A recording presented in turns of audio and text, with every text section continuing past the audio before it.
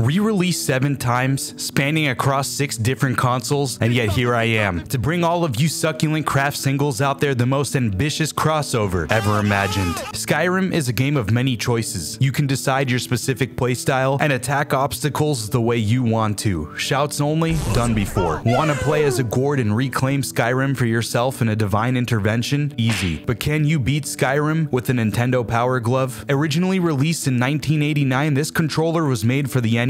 Many claimed that this dollar store Thanos gauntlet not only barely worked back then, but also made many want to uninstall their brain after using it. If we can hypothetically get this controller to work with our PC, can we use this primitive piece of absolute dog feces to brutally fist Skyrim and take home this W? Before we start our modern day version of erotic asphyxiation, you little coomers are probably sitting there in your mighty bean underwear wondering how we will even begin to get this device to work with our computer. Don't worry, I got you guys. Put your pussy on the phone and I'll give you the rundown on how this all works. Operation My Girlfriend is on her way to the bathroom and I can't remember if I flushed or not is now in full effect. Thanks to my man Kevin and me being the merciless and ruthless capitalist that I am, he was able to build me a PC Power Glove adapter. $120 and a foot job later, Kevin was able to effortlessly make the device that will fund our masochism this run. With this device connected to the glove, I can register the glove as a mouse and keyboard keyboard, giving me the upper hand on Thanos, because even though that boy got some ass on him, I'm sure his glove can't be used to control his PC. With everything set, there are only two rules this run. The power glove can be the only thing used to control the game unless I'm naming my character, and absolutely no sneak build. With the rules set, grab a pack of Dunkaroos and sit back. Maybe you'll even like that smash button to help support the channel and my mental stability because it took me three with an original Slim Jim slapped onto each finger of the controller, which will soon be apparent to you cuties, and my will at an all-time high. Will I be able to Thanos snap the treacherous Alduin, or will I experience oh pain so horrendous that I'd rather sit on 10 number 2 pencils? Let's find out. With Power Glove working, we began on our journey, and was met with the cuisine for the luckiest of men. I have absolutely no idea or why this was happening, but I did not enjoy the experience. Mankind is a disgusting plague on this gentle planet, and this right here, gentlemen, gentlemen, is proof. After a quick restart and coming back from that literal roller coaster of emotion, we got off the wagon and I chose my race. For this run, I decided that I would refrain from any mods, as that would take away from the immersive experience that is the prolific story of Skyrim. So I decided to choose the only viable race for a run like this, the Gords. I made this decision to mimic living in a higher plane of existence, both spiritually and physically. Skyrim belonged to the Gords, and I was here to help them reclaim it. My Gord was named named after the great Pyro from TF2, a channel member of mine that is possibly the only person to pass an STD test that he didn't study for. Just as a year is equivalent to 365 days of disappointment, my existence is equivalent to a rat getting stuck in a mousetrap. Fortunately, death is a preferable alternative Bullshit. to playing with this glove, so I was okay with what was about to happen until he arrived. Oh, hey. This is what I was foreshadowing at the beginning of the video. I was a man, a warrior, branding what was a Thanos gauntlet with Slim Jims attached to it. Write that down, write that down! In a poetic gesture, I strapped this meat to my fingers to act not only as my infinity stones, but also as a means to counter the macho man's extremist demands. You got a tight little man pussy on you, don't you? As I was set free, so was my will to live. If my fetal alcoholism and destabilized emotional well-being wasn't enough, this glove was here to add to it. And to add to this all over Senza's chess session, due to the latency from the glove to the sensor bars, my sensitivity was all over the place. I understand that this footage is vile and disgusting, almost rivaling mommy makeout days level of disgusting, but I need to show you all the truth, despite the cringe this footage will bring. After witnessing a brethren fight with the intellect and dexterity of a vegetable, I sided with Ralof and was ready to show the Imperials a practice that I have long, long forgotten. For those curious, if I flex my finger, my weapon will swing. The power glove is basically just a raw, uncut, uncircumcised version of a Wii remote. So if in the off chance I flex my finger for mistake while an NPC so happens to be in front of me, I may or may not be a wanted man Stop! and killed for what I have done. My Veggie Tales brother and I moved forward, and must I say, we worked stupendously as a team. As he whipped out his cock, coming and slapping any Imperial scum in our way, I dealt with getting used to this controller. After ameliorating the situation, I joined Ralof and took part in his disobedience of the Geneva Conventions. Doing so brought me a meeting with the Spider-Man Council, but since they were the inferior, non-Sam Raimi version version of Spider-Man, they also took part in the marriage of their lives and death. The open world engulfed me, and it was time to cancel Alduin. Enlightenment from the Warrior oh. Stone was called upon, and then I realized that things were jamming, but we were missing the peanut butter. Although I was threatened and touched by a wheelbarrow, just like that one weird uncle everyone has, this was not the peanut butter I was looking for. I began my trek up to Bleak Falls Barrow, and besides the occasional arm cramp, it wasn't too bad. But simplicity with this glove is a metaphorical concept that seemed foreign, and just the fact that I almost oh, died no. because of my sensitivity made me realize that this was not going to be a good time. With a sweet little maneuver that may look unfathomable to the eye of an ordinary gamer, I powered through my inventory, healed myself, and proceeded to hit them with that 10 piece special. Inside Bleak Falls, I pushed my way through and met my match. This bandit overlord was here to ruin my day and the lore of the Power Glove anime. But after a couple of tries, he romanced his deserved demise. I took out the terrorist Spider-Man that was keeping Arvel hostage, saved Arvel, and then made him commit stop of breathe with a few flicks of my index finger. This is where the difficulty began to steadily increase. Not because the Draugr were powerful beings that pot roast your ass even on the easiest difficulty, or because I locked myself in a quick save death loop, but because mobility was impossible with this controller. My only option while attacking was to merely stand still and hope to God that I had enough damage to take out my enemies, while they pasteurized my breast milk. A few attempts on a group of joggers later, I was blessed by the heavens with a two-handed greatsword. My first puzzle was exclusively easy with this controller, and the jogger overlord ahead became the sole proprietor to a greatsword butt plug. The Dragon Tails Dragonstone was now in my possession, and it was time to make my way to Whiterun. Infrastructure is in shambles for this run. Either my controller barely wanted to work, or I was faced with the hazards that threatened my very dragonborn livelihood, like this wolf taking advantage of the fact that I was a cripple, or being randomly executed in Whiterun for being one of the very few in this sentient vegetable minority. The Jarl of Whiterun was pleased to see that I had obtained the Dragonstone already, and he asked me to outstretch the bounds of my autism and see if I could take out my very first dragon. I didn't want to, but here in this vegetable minority discriminating institution, no was not an option. There I was, sword in hand and power gloves securely fastened. I knew that no matter what, this was going to go terribly wrong. And that, you little cutie idiots, it did. Again and again, Molmenir roasted me with the nuclear yield of a homeless man's swamp ass, and I just had to take it. I was faced with the moral dilemma. Do I hide and let these men do all of the work for me, or do I grow a couple of inches on my dick and man up? I needed guidance, and there was only one person that I could call. One person that shared the same religious beliefs and masochism as I did. Mitten Squad.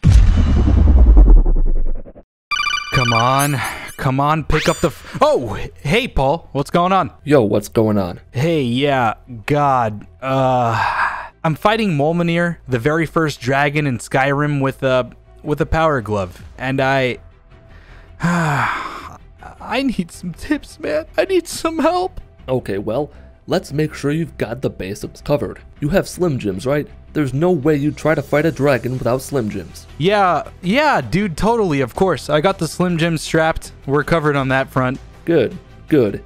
What about buckets? How many buckets you got? What? What? Buckets are an essential part of the Skyrim experience. How many buckets do you have? No, dude, listen. I need help taking him down. You have probably done this more times than I've seen myself naked. How do you. Senza, you're starting to make me mad. Do you have any buckets or not? I don't. I'm not even sure what. Look, man, I can't help you if you can't help yourself. You're on your own. No. Paul. Paul, dude, come on! Dude, come on!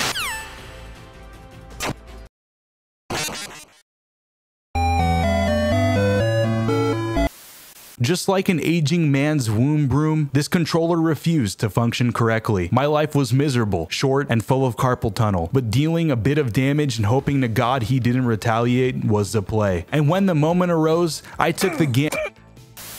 And when the moment arose, I took the gamble and did what any rational thinking gourd would do. I had slain my very first dragon. The Jarl quickly knew of the W I had obtained and awarded me a human to join me on my travels. Although these creatures do agitate me, You need to get the phone. Thank you. Holy crap, man. and traveling with her would carry a highly unwelcomed price, Lydia was going to be nothing but my champion. Getting the High Hrothgar with this power glove is enough to get yourself medically prescribed for antibiotic hemorrhoid cream. The Power Glove has two functions, motion control and gamepad control. Motion controls only detect where I look and when I flex my finger. The gamepad controls my walking and jumping. Unfortunately, while using the gamepad, I couldn't get the sprint button to work while being pressed, thus making us lose not only the I'm fast as Fast as boy romance option and forcing us to walk for the rest of the game. I fast traveled to Pelagia Farm and began on my journey. The occasional wolf needed to be exterminated for their disgusting erotic fetish that they had for the gourds, and I took up the moral process of choosing whether Talsgar should live or not. Monotony and an all-around pain in my favorite testicle are the perfect words to describe this journey. I won't lie, climbing to this mountain did involve a bit of save scumming, but any and all sins that I commit should be absolved while wearing this holy piece of equipment. In due time, and after dealing with the troll that I totally killed and definitely didn't run past, I made it to the group of simps that congregated at the throat of the world. Secluding themselves from the rest of civilization, these simps are of another tier. In their dystopia, I was their Twitch thought and my power glove, and I held a monopoly over this prestigious title. As you can see here in Evidence Locker 32A, when I pressed my right D-pad button on the power glove, they accepted defilement and they Yeah, longed boy. for it. These simp benefactors were vital to how this anime was going to play out. They taught me Whirlwind Sprint, which will be a great deal later on in this run, and after a bit of chit chat, I was sent off to a dungeon to find something these men held dear. Lydia and I set forth from the Western Watchtower, and it wasn't too far of a walk. I just had to deal with a few bandits that worked for NASA and a few wolves. Eventually, my glove and I arrived at Ustengrav, and we were coming for the cause, but staying for that sweet, sweet Draugr ass. Being the trained gourd that I was, I was able to push my way through, and even after mistakenly hitting a button, I was able to regain my composure, a technique I learned from my Borderlands 3 challenge run. Although I was an abortion that unfortunately lived, my swordsmanship was exceptional, and these Draugrs had exclusive rights to my sword and power glove. After being distracted for a small bit, I made it to the holding room to find out that the ancient Steve Harvey fleshlight they were looking for was missing. This was tragic, but I knew of someone that could possibly tell me the whereabouts of its location. I struggled with the fast travel map, but eventually, by God's grace, made it to Riverwood, and from there, discussed the situation with Belle Delphine. She wanted me to prove that I was a dragonborn, which meant that I had to do things that I didn't want to, but her word was martial law. We made the trek to the dragon burial site, and besides being uncomfortable, I was able to refrain from filling my adult diapers. Alduin, the king of machos, revived his fellow dragon, and it was my time to shine, to show Mrs. Delphine that I was a man of my words, and that clapping dragons was something I was truly passionate about. My last encounter with the dragon didn't end very well, but fortunately, Reggie was looking down upon me on this very day. Sahloknir focused on Lydia as I cha-cha slid into every single orifice he had with my sword. Killing a dragon in one try with this glove is like being edged for hours and finally releasing. But even though the battle had technically been won, Delphine wanted another task to be done, and this one was not going to be simple. From Ustengrav, I made my way to Solitude, and then the Winking Skeever. Besides slapping poor Malborn here with my death stick, it wasn't too hard getting to this point, and off this little gourd went to his respective environment. A well-needed social gathering where we all stand six feet apart. I needed info on the Thalmor, and now you may be thinking, Senza, this part will be impossible with the power glove. This challenge is over. Well, I hate you, and you're ugly. Now stop pissing me off before I kiss your forehead and put you to sleep. Here's the plan, boys and girls. I understand that I don't have much healing, especially for the amount of enemies that I will be facing here. After staging my distraction, there is a whole kitchen area full of food. This will be our saving grace. This will be what gets us this will be what the superiority. God, the superiority of this power glove will forever be memorialized to these Thalmor, and so it will be in my heart when the food I stole hit differently and saved my ass from getting karate clapped by these heathen. Although I had many troubles with sensitivity and this area alone, I was able to overcome this obstacle and do something on a level not even Gandhi thought would be viable. The food in that kitchen was just enough to help me survive the final fight, and victory filled the air just like a fart enclosed in a windowless room. It was now time to find Esbern, a member of an ancient group called the Blades, and with my passport set, I set off to Riften to kiss a couple of hot boys in the name of Talos. At this point, I was starting to become a seasoned power glove wielder, which was vital if I planned to use it to topple Doom Eternal in the final episode of this saga. Having played this game many times, doing the actual quest to find his location was not needed. I emerged into the Ratways and Lydia and I came to fulfill these enemies' sexual fantasies, where a cripple completely shit all over them. My passage through these tunnels was clearly unwelcome, but I took it into my own hands and whacked away. Delving deeper, Lydia and I were ganked by a few Thalmor, and what resulted was a discarded afterbirth of a bad idea. I thought I could sit back, let Lydia do something for once, and enjoy the show. She died my champion fighting to protect my glove, and I did nothing about it. I reset a save and eventually found Esbern. While discussing the severity of the situation, random inanimate objects decided to stroke the fuck out, and the three amigos went to escape the sewers. I spent the better half of a day down here in the dungeons. We made it out of there, I chatted with Bell, and then realized that Esbern was 100% Darwin Award material. Did you say something? My poor boy Esbern is suffering dementia. Dear Lord. Severe, severe dementia. The squad and I set out to Alduin's Wall. I won't bore you with the specifics of what went down, but from the Western Watchtower, the hike wasn't too bad. It turned out the submissiveness of Andre the Giant was not on a level that I could handle, but around 20 minutes later, I arrived at Alduin's Wall, face damnation when my glove decided to shut down for a minute and made my way inside. A few more deaths decided they wanted me within the confines of this dungeon, and at this point, I was starting to contract severe autism and a new form of chronic Tourette's. Yeah, okay okay, dude.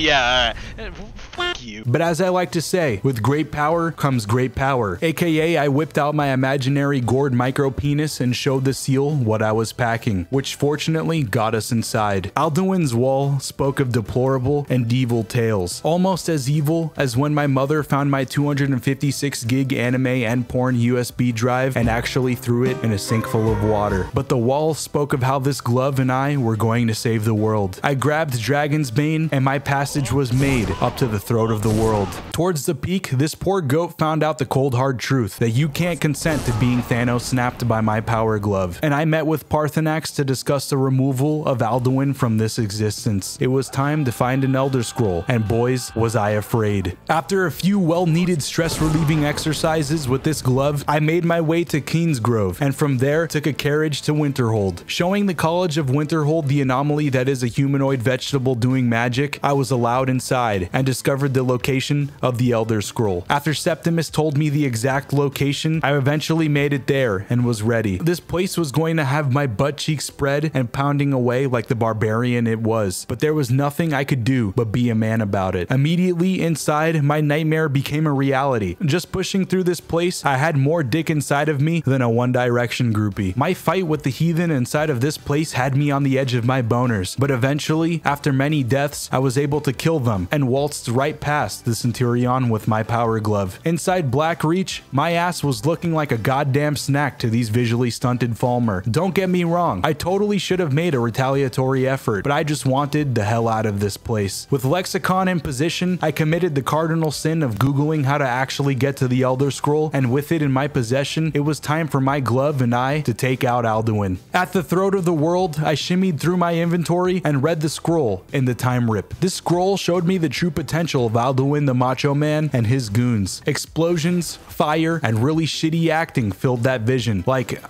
I've seen better acting in amateur porn videos than that shit, but it was time and I had now entered the salty spittoon. With this power glove, this Alduin fight really drove me to the edge. It wasn't even the fact that I was lacking in the right armor or level to kill him. It was my mobility with this controller. And that little hemorrhoid had a skill that made meteors fall from the sky which had the damage equivalent of getting your genitals stuck in your pants zipper. I was subject to the tortures that Alduin deemed fit for a gourd, and this was just bordering on sadistic. For this fight, I had no food to rely on, so my only option was a level 1 healing spell. Health. I could now do a bit of damage whenever he landed and run off healing after he took out 50% of my health. This technique was getting me there, but the perverse and erotic Alduin wasn't having it. That motherfucker got off to seeing me die, even more than the bestiality animation mods he had installed on his copy of Skyrim. In a response to the pain I had endured, I made a call that I probably shouldn't have. I started to suspect that while you were playing as the Gord race, armor means absolutely nothing. The Crimes Against Skyrim mod allows you to change your race whenever you please, so I decided to do so and test the theory changing myself to the Redguard race. Whether it was placebo or not, I did have a bit of trouble with this fight against Alduin, but eventually I won the battle. Not only against Alduin, but also against the treacherous UI inventory screens while using the Power Glove. This was massive, a giant win in this current arc of the anime. He was injured and fled the scene to a remote area where he could rest and produce so many Slim Jim advertisements that it would be far from sustainable by the likes of myself. Although I have displeased the Gord Empire, I decided that I must finish this run as a Gord. After taking quick trips to each of the major holds and having to deal with the monotony of using fast travel with this glove, I sat the major leaders down and discussed a truce. With everyone on the same side, it was time to find my ticket into Sovngarde and finally finish off Alduin for good. There was a pretty good bargain on a dragon that was down for some of that naughty little deed many call treason. And after calling his name, I bolted the door shut on my BDSM dungeon. No one could hear his screams or even mine. Odahviing agreed to take me to his leader, and off we went to kill him and end this tyranny over us troglodytes. Skyrim, the quintessential RPG where the world is your metaphorical oyster, but your boy is out here role-playing as a vegetable and whirlwind sprinting across the map. This was where that dragon shout came into clutch, so you can bet that sweet little inverted belly button of yours that I was going to skip past as many enemies as I could. I made sure my healing spell was toggled and prepared myself for any cacti rectal insertions these enemies were ready to give me. Inside this ancient tomb, I had a bit of trouble, but their effort to take me down and my pain was keeping me in this fight. With the hand of a friend of mine that against his own will was unionized, Bro, these are like fucking second grader, like fucking. Listen, man, Duty. I know, but your Like- assistance is needed. I uh, Oh, god damn it. I solved all of the puzzles, convinced the Draugr overlord that my life was more valuable than his would ever be, and whirlwind sprinted past the Dragon Priest into the portal to Sovngarde. This was the final run. In Sovngarde, we were already off to a bad start. Pushing my way through, I slowly cleared the smoke and made it to the gates of the Hall of Valor. Tsun guarded the gates, and I needed to 1v1 him in order to get inside. Little did he know that I have achieved dangerous levels of Chad with this power glove, and that didn't really matter because he twirled his sweaty nose on my chocolate starfish. But even his masculinity can be countered. Stepping into the lake beside him oddly shuts off his AI, thus letting me hit him with the fire breath dragon shout, giving me that W. Inside the hall, I convinced the homies that Alduin was in the wrong hood, and we all stepped outside to blast him. The boys and I shotgunned farts that sounded like they could nearly flick mud, and the final battle began. This was a difficult one. 48 minutes and 33 deaths, literally running around like a chicken with its tits cut off. But not even Alduin and his macho strength could stop me. The play was as before to deal damage and run around healing myself, save scumming whenever I made progress on his health bar. And in due time, the boys hit him hard and I delivered the final blow. That was it, boys. The dragons sang and a gourd fulfilled his prophecy, saving Skyrim and putting an end to Macho Man's tyranny. You can beat the Elder Scrolls Skyrim with a Nintendo Power Glove. It was difficult and honestly probably more difficult than the Borderlands 3 challenge. This Power Glove series has not yet come to an end though. I have one more game to topple before I actually hit the big red one and achieve all of my Infinity Stones. I hope you enjoyed the video and if you made it to the end, comment hashtag mudflicking so I can heart your comment. Thank you to the Diaper Booty Chairman for funding this video and thank you to all of you beautiful creatures for watching. See you next video, you cutie idiots.